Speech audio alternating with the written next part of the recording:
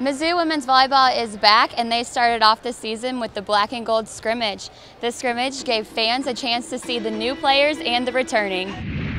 It's, it's really priceless to be able to have these guys get out in front of people uh, because that changes everything. We can come down here every day and practice and work hard down here uh, away from everybody, but when you get in front of people, the music's on and the lights go up, you know, all of a sudden things change. And so for them to get their uniforms on for the first time and then play in front of people really helps us prepare for the real thing. I think black and gold definitely prepares us just because like we're finally get to play with fans. Like fans is like the big like deal breaker. Like the adrenaline is rushing. Like in practice it's just us. We're really comfortable with each other. So like in like the game situation, it just builds like adrenaline and it sees how you can play like with all these other aspects like um, factoring in. I think it helps us realize that we're all playing together. It doesn't matter if you're a freshman or a senior. You know, you're going to make mistakes and you're going to do great at the same time. So I think it's just a really good experience just to see the crowds here. You know how amazing this place is, and um, just a great start to the season.